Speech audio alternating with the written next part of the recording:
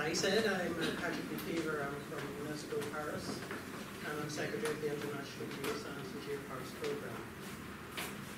And what I want to do this morning is really to give you a very good, very thorough introduction into what a UNESCO Global Geopark really is. And hopefully you'll understand what it is and also what it's not. Um, I think most of you know that UNESCO is uh, United Nations Education, Science and Cultural Organization. But I suppose we're known mostly for the site designations. If you ask the general public, what do you know about UNESCO? Most of them are likely to say World Heritage Sites.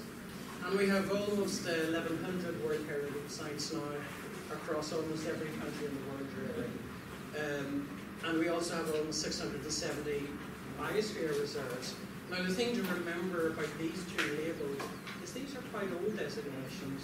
The biospheres date in 1971, and World Heritage, the World Heritage Convention was signed in 1972.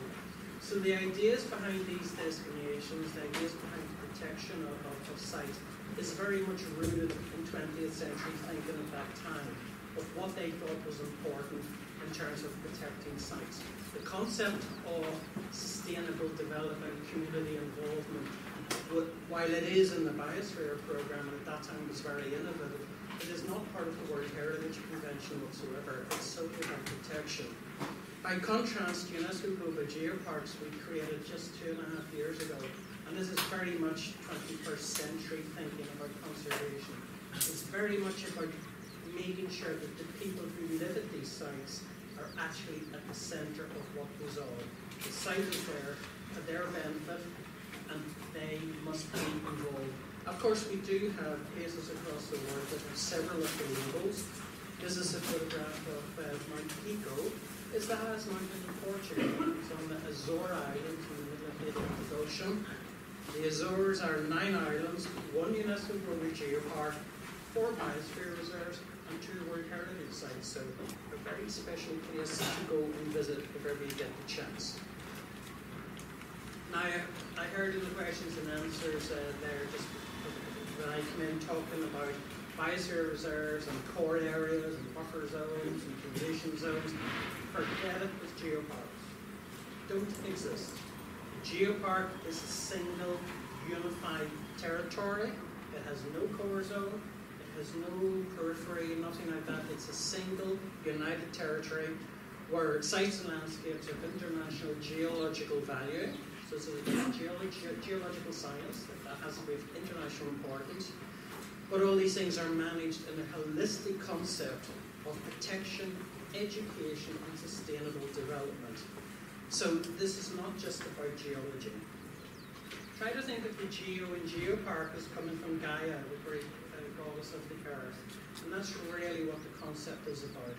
It's about showing our geological heritage, our geodiversity controls our biodiversity, but the special landscapes, the special mountains, special rocks can also control our intangible heritage. They give rise to folklore, to, to local tales, to, to ancient values. They determine how we farm.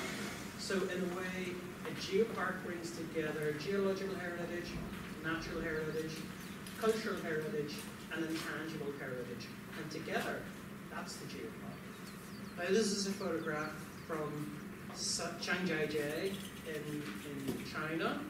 And you can see that this is a very, very tall pillar of rock. Right on the top, they have a glass walkway right across. So unless you have a very good head for heights, uh, you may not want to visit this, but it's very spectacular, really very spectacular. One other fundamental difference between the other two UNESCO designations and geoparks is networking. Of course, there are networks within the within the MAB program, but they're nothing like what goes on in the geoparks. For example, this is a photograph of the UNESCO Global Geoparks in Europe meeting last year. They come together twice every year. Representatives of all of the 73 uh, geoparks in Europe, they meet twice a year.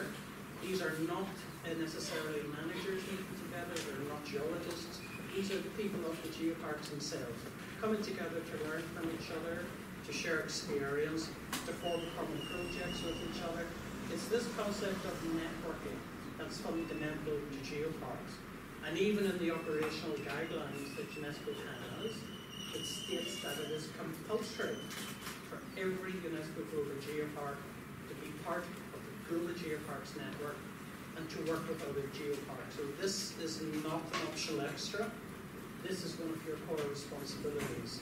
So we have the way the global geoparks work, as, as I'm sure Nicholas pointed out, is through regional networks. We have the European Geoparks Network, we have the Asia Pacific Geoparks Network, and uh, we also have the GeoLAC, the uh, Geopark Network of Latin America and the Caribbean.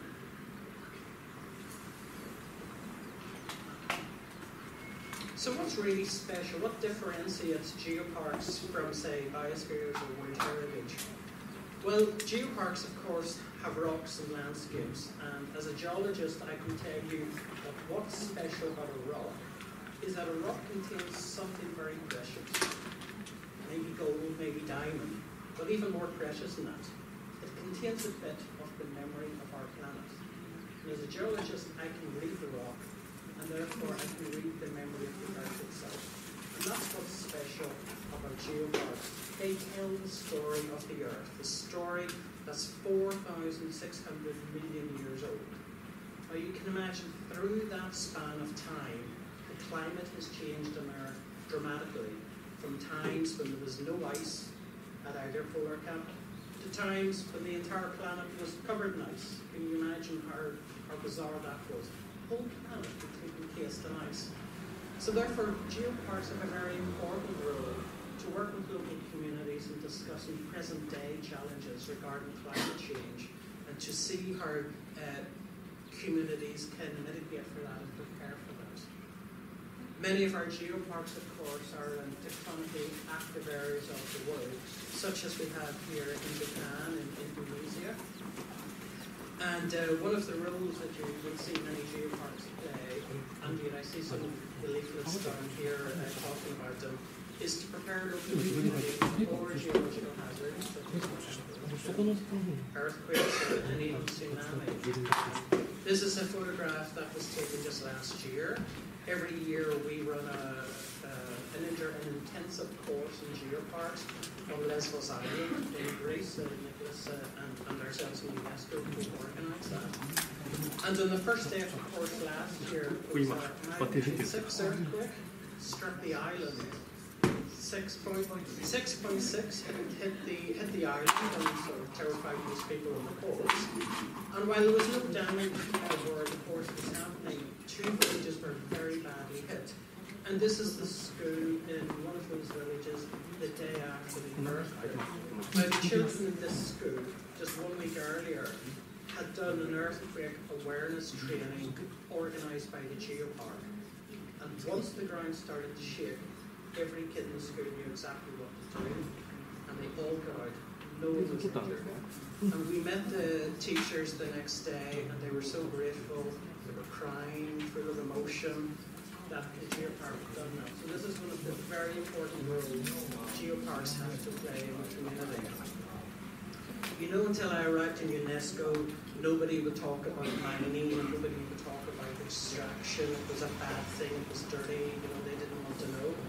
Um, but of course, many of our geoparks are former mining areas, uh, areas that have been shaped by mining, by the industry, and these are special areas and communities, geologists will know that. Mining communities are very special, very resilient people. And so it's through the geoparks we're trying to really remind communities about that, remind them that they, they're from a special area also, and that they should celebrate their mining heritage. And many of them do. We see some examples of that. But this is the real important slide. Geoparks are people. As I mentioned, it's not just about geology, but this is what it's about. You know, you hear other things are involved local people, but the geoparks really take this involvement to, to a different level. The geopark, uh, the people of the geopark are really the managers. They're involved in it. We call them geopark ambassadors. Many of the local people who want, uh, wish to be trained to become tour guides, they want to, to have help to open up maybe restaurants, accommodation provision. And it's this sense about building community ownership, community empowerment, community sense of pride, which is really uh, at the heart of the Geopark philosophy. We can see these ladies here with the Geopark Ranger on on the back. These are tour guides from a Geopark in Portugal, but these are local residents. And because they can bring tourists around their own area, share the stories and the history of their area that they know better than anyone else. Of course, tourists will be willing to pay a little bit extra money to have that really genuine uh, experience, and of course, that's one of the reasons that, that we do that. So this is really about trying to, to build inclusive, sustainable, regional development strategies in geoparks. As, as Nicholas mentioned, try not to think of uh, UNESCO Global Geopark as a designation. Try to think of it as a promotional brand of economic development, as a label that's given to an area because of the type of model of economic development that it's using. And here we see some examples. This is an aspiring geopark in Sonora in Ecuador. This is high up in the Andes. These are the Quechua people. So these are people who, who have lived in these mountains long before the Inca came to this part of South America. And these people have their own stories about the volcanoes that surround them. Stories that are are so different to what we, what I as a geologist would know. And, in their culture, the volcanoes are male and female, and they have stories to explain all this. And so what we want to do is we want them to share those stories with visitors coming in. And of course also to share the scientific stories as well, to bring them together so that both are valued. And here you can see them making up handcrafts, which they also sell uh, as part of the geopark. This is a volcano meister from Toya-Usu who's a school teacher, and we see one of the, the leaflets down here about the volcano meisters uh, in Japan. Uh, her job is to explain uh, about the sudden eruption of the volcano there some 16, 17 years ago, but also to, to tell local people what they should do if this volcano should start erupting again. And I should say that uh, the volcano uh, erupted without any warning, so uh, some spectacular imagery of that day when that volcano erupted. This is a, a, a, a geopark in Europe. It's a former copper mining area called the Copper Coast. This building uh, 10 years ago was completely derelict. It was just a ruin. And through the geopark, the people were able to raise money themselves. They didn't get help from local government, they didn't get help from national government. They did it themselves through various fundraising activities. They were able to raise enough money to renovate this building and it's now the centre of this local community. You can see here the local musicians playing traditional music. They have all sorts of uh, fairs that happen, like a craft fair, Christmas market, this sort of thing. But it's also uh, the tourism information centre for this area. And it's become so successful that the Prime Minister of the country even came down to see what they had done. It had made such a big, a big uh, story in, in Ireland. This is the Copper Coast. This is an aspiring geopark called Baringo. It's in Kenya, in Africa. And this is a this is actually a photograph of me under the tree, talking to the local men and women about what a geopark is. These these people asked uh, asked me to come out to talk to them about it. They heard about the geopark. They heard about sustainable tourism, economic development, really wanted to have first-hand information and it was very interesting for me because these people were asking really hard questions. Really tough, like, you know, why would we want this? What would it do to us? This is really what we want. Because we don't want people just taking the name geopark because it's associated with UNESCO. We want them to take it because they want it, because they know that it could make a difference to them. This is this is the important, really the important thing. I'm happy to say that this project is now communicating geoscientist, of course, as a, as a geologist, that's very important to me to, to make sure that the story of the Earth is, is given over as part of the geoparks. And normally, of course, as a geologist, I might give you a lecture, or I might take you out on a field trip or something like this. But there are more, uh, there are other ways of doing this, and there are other ways of, um, of bringing these stories to, to local people. So, this is Muroto. Um, anybody from Muroto here? Yeah, so this was a few years ago in Muroto. And uh, this is, well, you probably know where this is. And these are some of the local school children uh, hearing about the geological heritage of the area. But actually, what was being explained to them was the process of sea floor uplift during an earthquake, which then displaces a large body of water, which comes on shore as a tsunami. So this is what was being explained to them. Tsunami have hit this area before. Tsunami will hit this area again. So it's important that the people understand why that happens, and when it does happen, where they need to go to. So this is all part of uh, the work that's done in Uruguay. This is a, a, a, another geopark guide, a local person from um, Uruguay in South America. This area became a geopark just uh, six years ago, and before it was a geopark, this area was really pretty unknown in Uruguay, and it's now one of the top tourist attractions. The whole area has been economically transformed, and it's been transformed in a way that's entirely sustainable. It's been transformed by the work of the local people. So even if politics change in the area, the local people are still there controlling everything.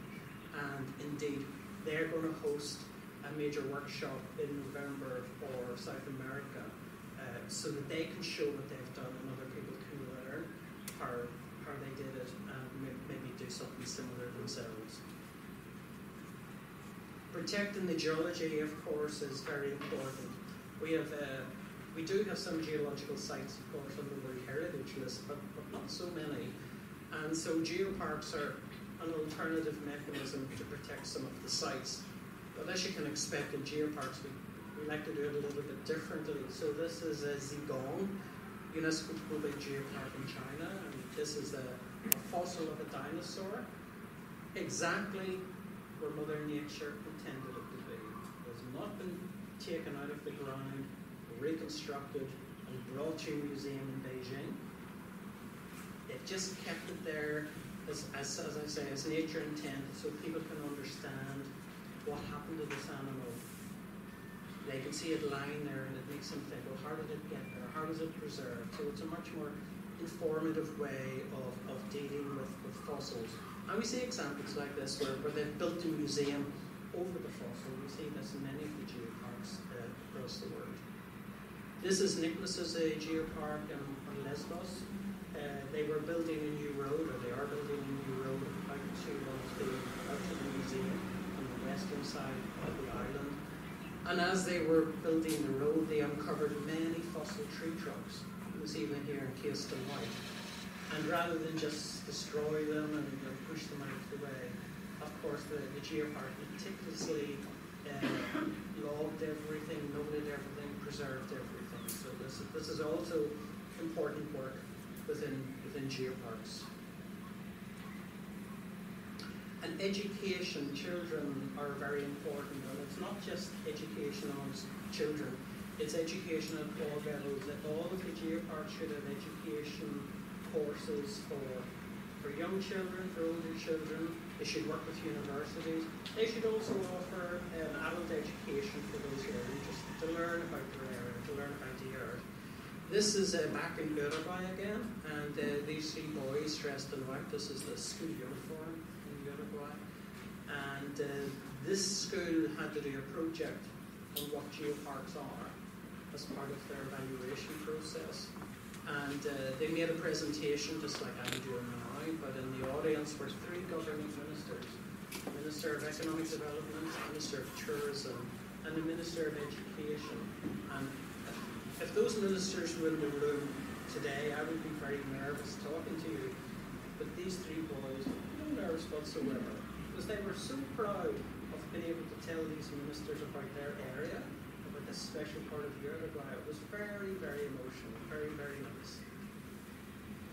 And this is a group of school children from Hong Kong. and they're uh, about 14, 15 year old, and they're just about to set off to go on an exchange visit to one of the geoparks in Japan. I can't remember which, which one it was. Um, but this is also part of the work that's very important is to is to bring the children of the different geoparks together as well. I know that some of the, in Europe some of them do it by Skype, and they have Skype calls with each other. But here we can see that between uh, Hong Kong and mainland China and Japan, we now have quite a, quite a very good school exchange system, which of course is very important because it helps children from different cultural backgrounds learn about each other and have respect for each other. So this is also, of course, a very important part of, of anything that UNESCO should be involved in. Many uh, geo geoparks also involve the arts community. Now, what you see here is a cone made by a very famous uh, sculptor called Andy Goldsworthy. He has bits of art, for example, in the Smithsonian in Washington, D.C. But he also has one here at a geopark in France. And what you see behind him are layers of rock that are now vertical. Of course, every geologist knows that it would have started out not vertical but horizontal. In fact, it would have started out as a sea, as a bed of the sea, millions of years ago. Then tectonic forces would have affected them and might have been put upright vertical they're about a thousand and a half metres up in the Alps in southern France. And the sculptor, Andy, just thought this was just one of the most amazing things he had ever heard of, that something could, that that sort of thing could happen. And so rather than put an information board where people can stand and read, he just wanted to put a bit of art to make people stop and think for themselves. Oh, How did this happen? Where did it happen? What forces could have done this? So it's a nice innovative way of, of, of doing things. This is another, this may not look like the most spectacular bridge you've ever seen in your life, but this is really something very special because this is in Reykjanes in Iceland. And on the left hand side is North America, and on the right hand side is Europe. Of course, it's a little bit more complicated than that, but for the tourists, they like very nice, they like it very much to walk from one continent across to the other, to see they're doing there. And of course, although it's the, story, the real story is much more complex, it's, it does bring that process of tectonics, of the fact that Earth's constantly moving. It brings it to a whole new range of, of people who really didn't understand these processes before. Supporting local enterprise. We've talked a lot, I'm sure Nicholas talked a lot about economic development, sustainable development. But what are we actually talking about? This is a, a women's cooperative again on, on Lesbos and Nicholas's geopark. And here we have several women's cooperatives which uh, started off producing local food products for sale to tourists. It's become very successful. They've moved actually into accommodation provision for tourists as well. It's uh, very, very successful. And we have women's cooperatives in many other parts of the world as well. And, uh, for those most of you are from National Commission, so you know that gender equality is one of UNESCO's um, priority areas. And this is a, a women's cooperative from Qeshm Island, UNESCO Global Geopark in Iran. Uh, some of us were there just uh, three or four weeks ago, and we were in this this this this shop. This is one of many where, where the ladies still keep the traditional uh, costume, but now sell it to tourists. And, and in this particular village, they just don't have uh, uh, places selling crabs. Again, they offer accommodation.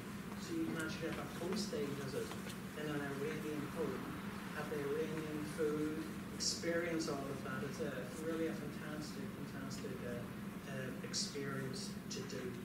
And um, very, very, very, I mean, the, the woman, one of the women who, who owns the restaurant was very thankful that the geopark had enabled her to do, to, to do that. And she's now running a very successful business on her own. Um, there are other innovative things as well. I'm going back to my own country. This is Ireland. This is a halfway down the west Atlantic coast of Ireland. You can see president of the Geoparks Network and the chairman of the UNESCO Global Geoparks Council, here beside the, the sign that welcomes you into, into this geopark. But there is one thing I want to talk about. They have many activities in this geopark, but this is something called the food trail. Now, many geoparks are developing these. This is basically a trail that tourists can follow, whether by car or by bicycle or whatever way they want to do. And they're going from one local food producer to another and sampling the different products, buying the different products that they, they might have. In this geopark, they don't have just one food trail, they've got five. And you can see the five leaflets here at the bottom. Um, there's one farm to fork, so this is where you can try some of the local lamb, some of the local beef. Uh, they have a cheese trail because artisanal cheeses are very popular now in, in Europe. They have a Nature's Child trail, so this is where you can go from anything. Uh, I can see ice cream being being made there, things like that. They have a market garden, so that'll be vegetables.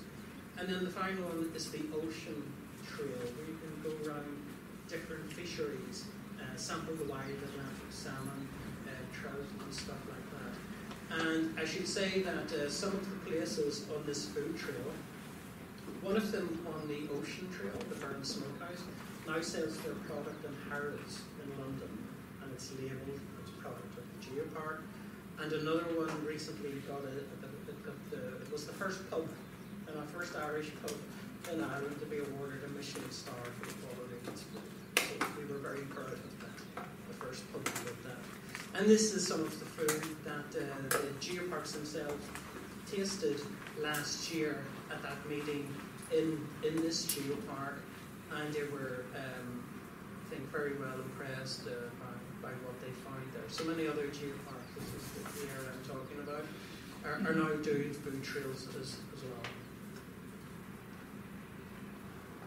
This is a this is it's not a UNESCO Global Geopark, but I hope this year it will be one. It's it's a, an aspiring geopark from Peru, and I'm showing this because I think this is one of the best examples of supporting youth enterprise that I've seen uh, in my years going around geoparks.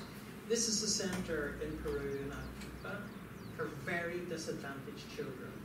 These children come from poorest, most disadvantaged villages in this area. And here they're, brought to the residential centre, so, so they live here and they're fed here, and they learn different skills that's going to prepare them for, for the future. Here they're learning how to work with stone. So one of the interesting things is that all of the interpretive signs in this geopark are going to be made by these kids. Uh, rather than use wood or plastic, they're going to use stone interpretive boards, and they're they're, they're making them. Here they're learning about the rich archaeology of the area as well. And this is one of the most successful. Here the, the children are learning about how to cater uh, in hotels, in restaurants, how, how you actually can do that, how to prepare large amounts of food for visitors, how to serve people at tables, how to serve them their drink, how to bring the food to the table.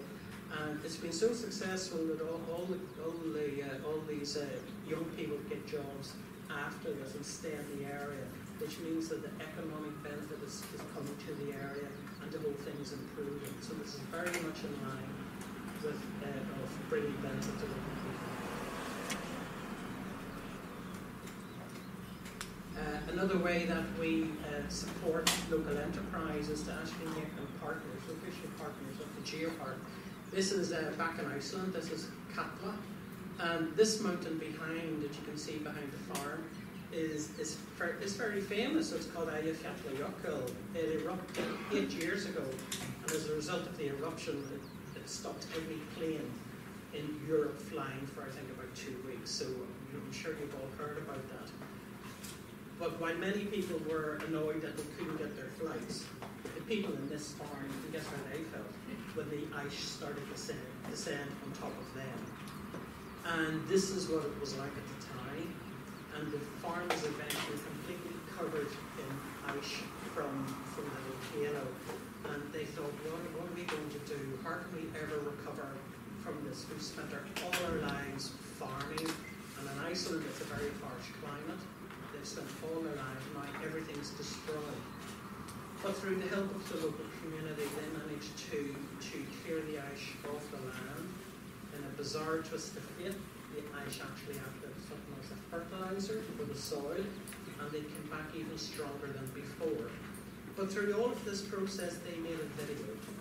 And that video is now shown in this uh, Ayakatla Visitor Centre.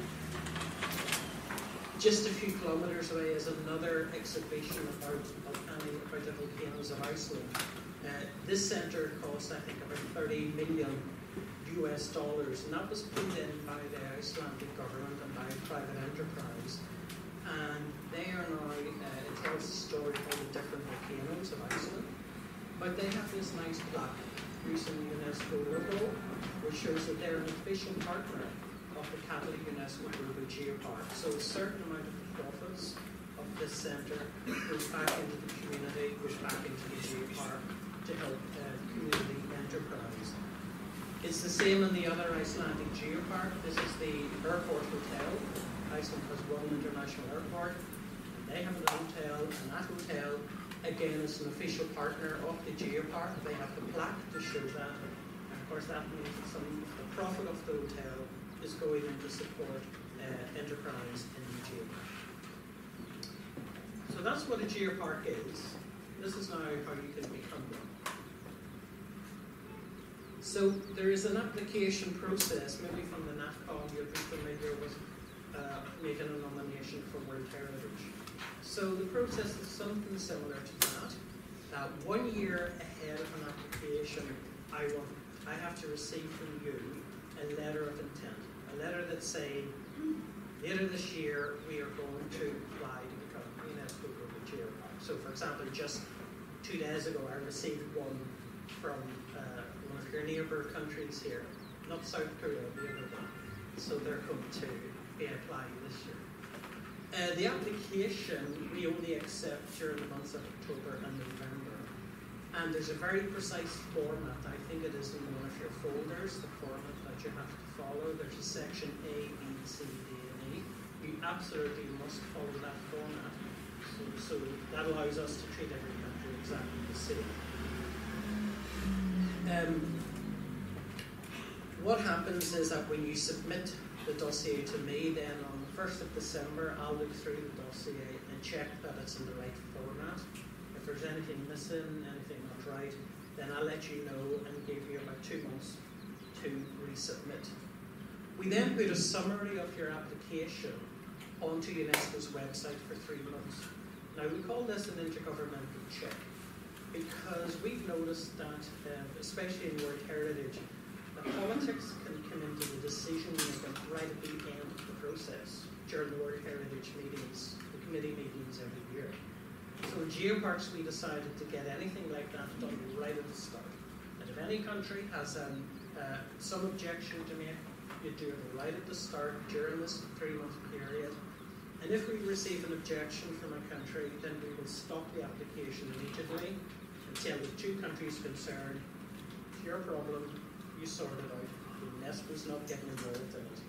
You sort it out. The first year we had this process, we had such a problem, and the countries quickly got the message, sorted out the problem. We haven't had anything since. I hope it stays that way. The geology of the, of the geopark, I talked about the fact it had to have international value.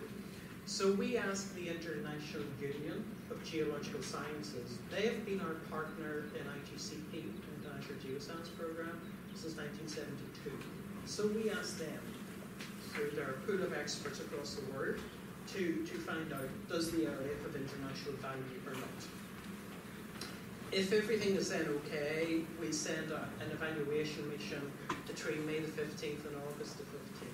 So this is where two people will go to your area, spend three or four days in your area, checking everything, meeting local people, checking that you really are working as a geopark, that it's not just an aspirational thing. And then they make a report which is distributed to the UNESCO Global Geoparks Council, and they meet every September. And they can either accept the application, defer the application for a maximum of two years, or reject.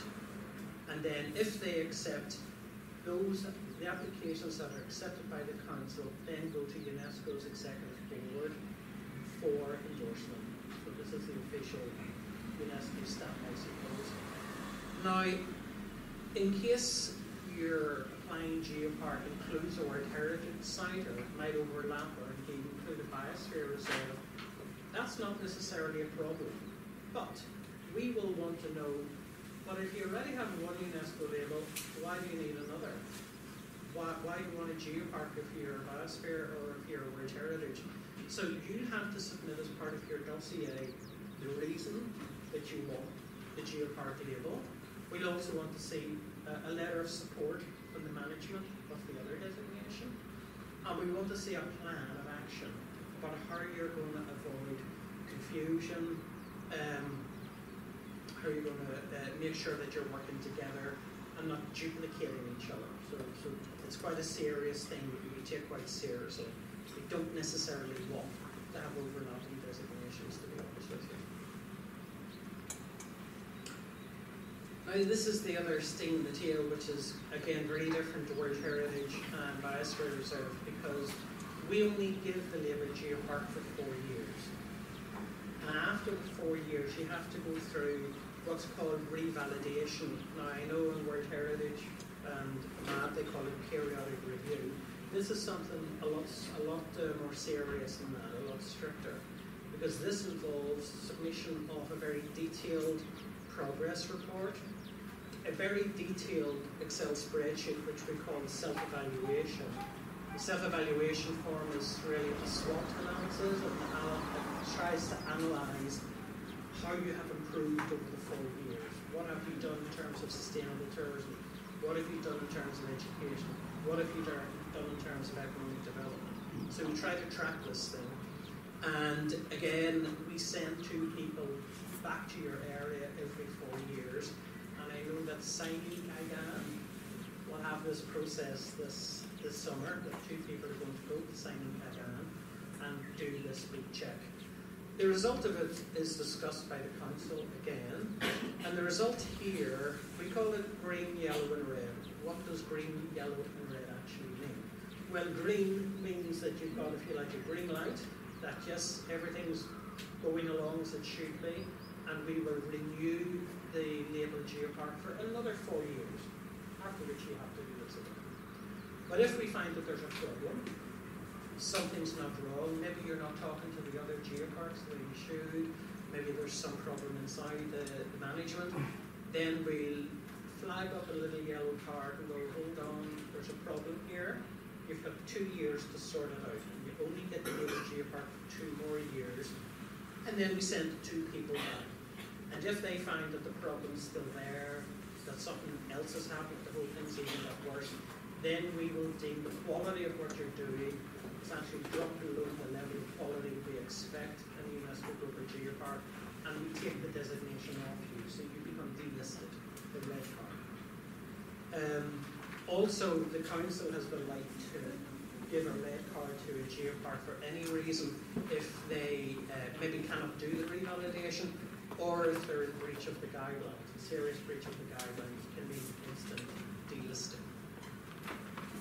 So I know that my, my colleagues in the World Heritage Centre are really a little bit jealous of this process because they didn't build it into the convention and it's really quite hard to to delist a, a World Heritage Site. I think once or twice it has happened. One thing to bear in mind that during the application process and revalidation process, it's up to the geopark to pay the geopark has to pay for two people to travel and to for their accommodation, etc.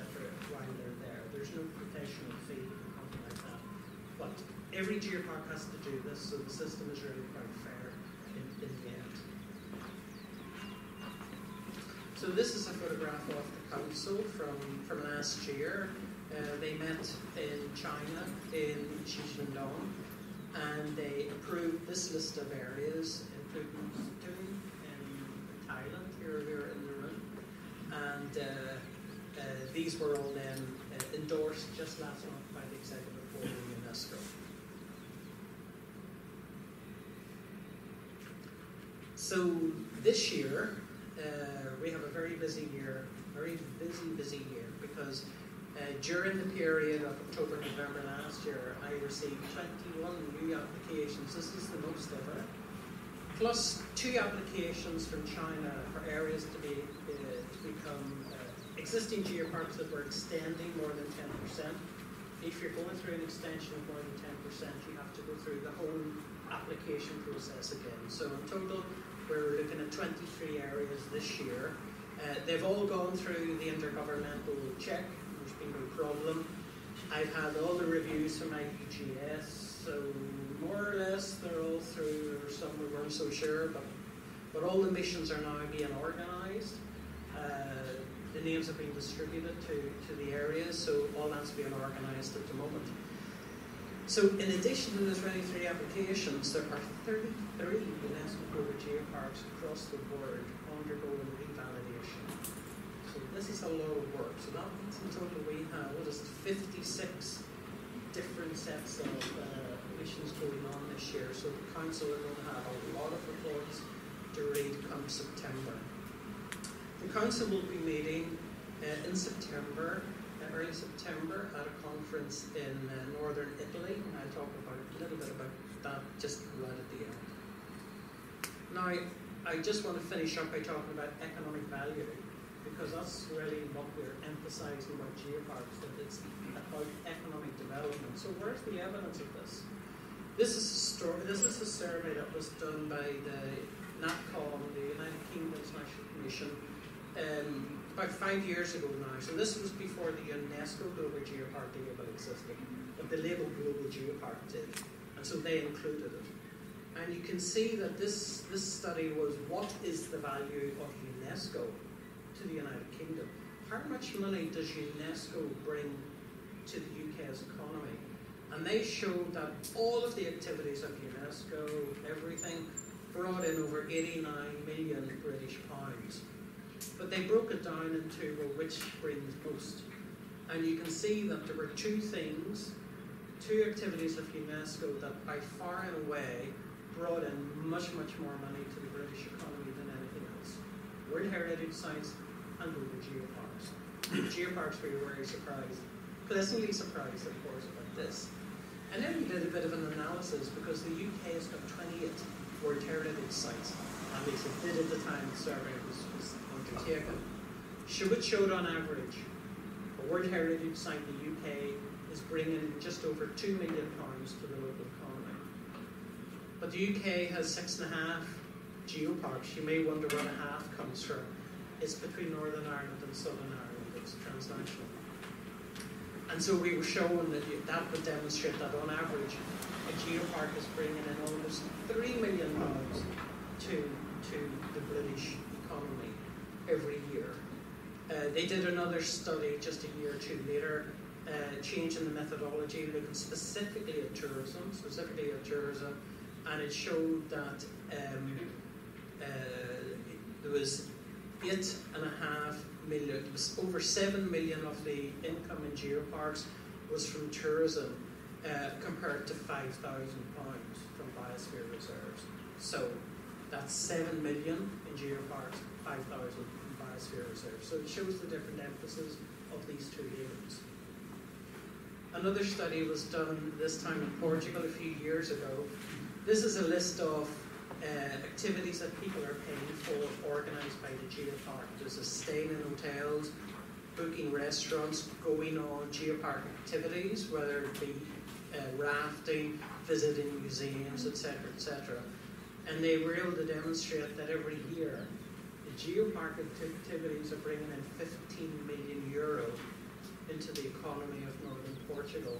Now, subsequent study in the geopark I represented before joining UNESCO, one of the Irish geoparks, has come up with almost exactly the same figure for the Marble Arch Caves UNESCO Global Geopark. 15 million euro being brought in additional to the local economy. So I'm going to leave it there. I'm going to uh, strongly invite anybody who's interested to come to the 8th International Conference on UNESCO Global Geoparks. Uh, it will follow the meeting of the council. It's in the Italian Alps, the geopark of Adamello Brenta. And uh, you can come and meet all of the UNESCO Global Geoparks. We meet every, we, we meet as a group, as a global network, once every two years. So this year will be in September, and you can come and learn and, uh, and ask questions, share experience, get advice, um, and enjoy the beautiful alpine landscape of, of northern Italy. So I leave it, and of course I can't finish a UNESCO talk without talking about the Sustainable Development Goals. And just to let you know that uh, the International Geoscience and Geoparks Programme supports many of them.